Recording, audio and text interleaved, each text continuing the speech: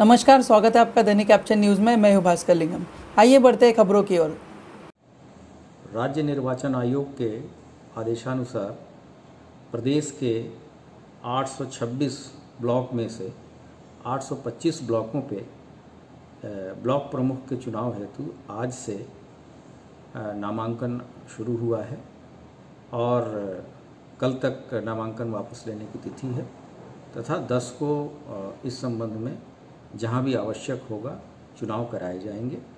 इस संबंध में पुलिस मुख्यालय स्तर से विस्तृत आदेश जारी किए गए थे, जिसमें यह स्पष्ट रूप से बताया गया था कि इन सभी नामांकन स्थलों पे असलहों का तथा किसी भी तरीके के शस्त्र का ले जाना, ले जाया जाना पूर्णतः प्रतिबंधित है और इसके अतिरिक्त और सभी जो आवश्यक व्यवस्थाएँ हैं वहाँ की जानी है चाहे से वो फायर टेंडर की हो या फिर वहाँ मजिस्ट्रेट या पुलिस अधिकारियों की नियुक्तियों का हो।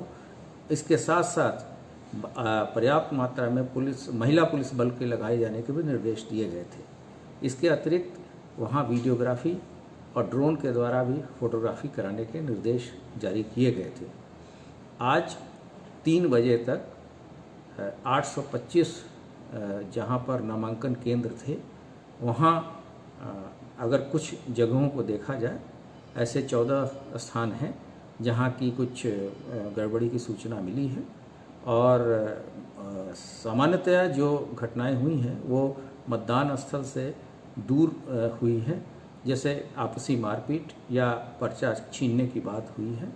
कहीं कहीं दो पक्षों के आमने सामने एक ही समय आ जाने के बाद भी वाद विवाद की बात आई है और सभी जगहों पे आवश्यक गुण और दोष के आधार पर अभियोग पंजीकृत करने के निर्देश भी दिए गए हैं और जिन लोगों ने भी गड़बड़ियाँ की हैं, उनके विरुद्ध आवश्यक और कठोर वैधानिक कार्रवाई अमल में लाई जाएगी।